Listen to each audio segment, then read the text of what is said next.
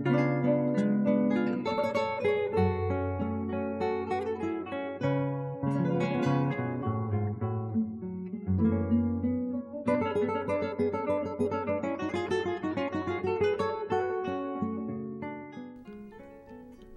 is located in Central America and is bordered by Guatemala, El Salvador, and Nicaragua. The Caribbean Sea lies to the north, and the Pacific Ocean is to the southwest.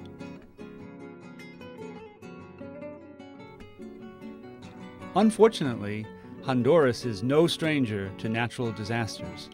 In 1998, Hurricane Mitch slammed into Honduras with sustained wind speeds of 285 kilometers per hour, enough to wipe out 75% of the transportation infrastructure of the entire country, including nearly all the bridges and secondary roads.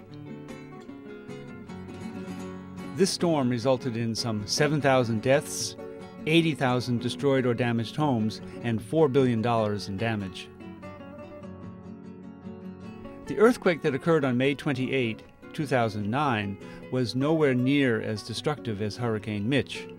This earthquake, a magnitude 7.3 event, occurred offshore in the Caribbean Sea, about 120 kilometers from the northern coast of Honduras and about 45 kilometers northeast of the island of Roatan, which has a population of several thousand people. The earthquake occurred on a transform fault zone within the Cayman Trench. It is located right at the boundary between the North American plate and the Caribbean plate. Central America and the Caribbean region are well known for having a high level of seismic activity. For example, in 1972, a magnitude 6.2 earthquake struck the city of Managua in Nicaragua. The result was some 5,000 people were killed by collapsing buildings. Another devastating earthquake in Central America was the Mexico City earthquake of 1985.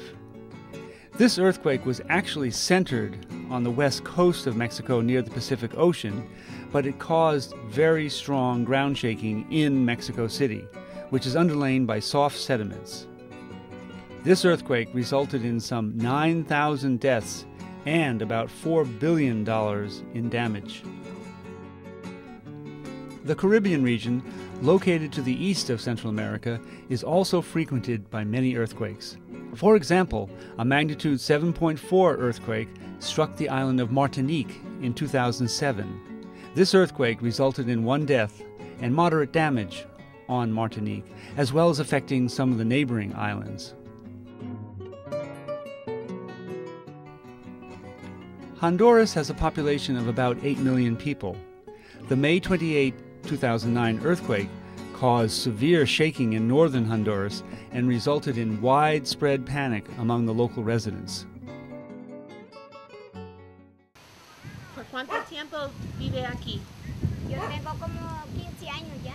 ¿Ya? ¿Y era lo más fuerte? Terremoto. Este es el más fuerte que tengo. ¿Ya? Sí, Sí. este es el más fuerte. Mire que yo creía que lo observíamos un día. Y una niña le cayó la, la, la, la, la pared. Aquí. Tres niñas, mire, una se murió y las otras dos están en el hospital. Allí, mire, de esta calle a la otra. Qué triste. Our field survey found that poor building construction caused most of the destruction and loss of lives in Honduras. Many of the homes are made of unreinforced cinder blocks or masonry. Roofs were mostly made of corrugated metal, simply lying on steel beams, and in the poorest neighborhoods, the construction consisted simply of corrugated metal nailed to wooden frames.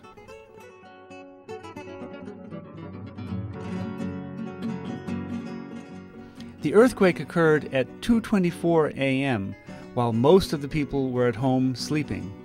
The six fatalities that occurred in this earthquake were caused by collapsing buildings. Qué pasó? fue como dice terror, sentimos Y- miedo. ¿Cómo fue? Temblaba exagerado, se meneaba pues y era algo que, que ni uno mismo no podía creer si es que era, estaba pasando sinceramente. Entonces nosotros salimos corriendo A la calle. a la calle a buscar auxilio pues porque no- nadie podía quedarse ahí, a no ser que no lo supiera. Ya. Let's have a look at the Democracy Bridge in the city of El Progreso, located some 200 kilometers from the epicenter.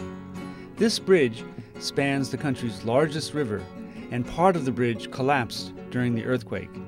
As you can see, the central part of the older bridge fell right into the river due to the strong ground shaking.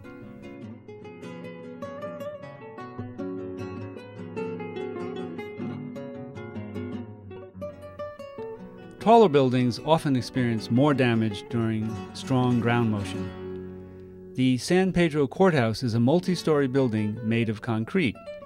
As you can see, this building suffered moderate damage during the earthquake, with many fractures in the columns and walls.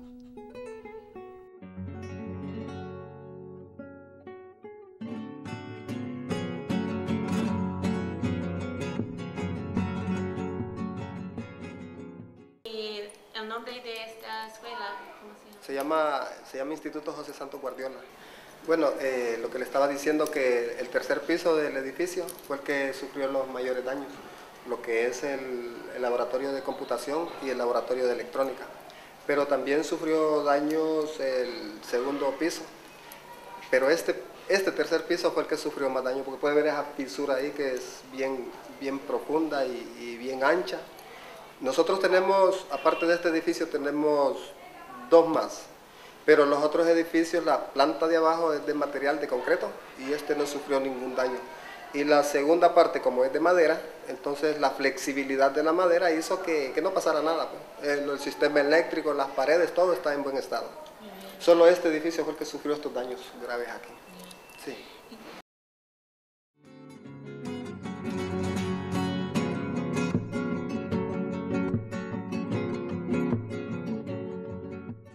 While damage was significant in some cities on the Honduran mainland, like El Progreso, we expected even greater damage on the Honduran island of Roatan, since this island is located just 45 kilometers from the epicenter. Our field investigation, however, uncovered a really big surprise. Although the island of Roatan is so near the epicenter, the high quality construction used in the buildings there, as well as the solid rock that Roatan lies upon, prevented a major disaster from occurring. This earthquake demonstrates the need for earthquake preparedness.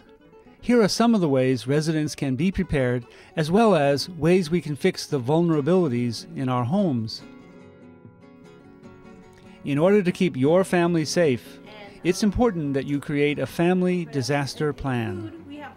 This includes deciding where you will all meet after an earthquake, preparing disaster kits, and learning about how to protect yourself during strong earthquake shaking. 20 seconds remaining. Estimated level is 6 plus. Think too about the buildings you live and work in. It's important to reinforce concrete and masonry walls. The frame of the building must be securely bolted to the solid foundation. Proper bracing of the walls will also help the structure to survive strong ground shaking. The May 28, 2009 Honduras earthquake is a reminder that the next earthquake can strike at any time. We all need to be prepared.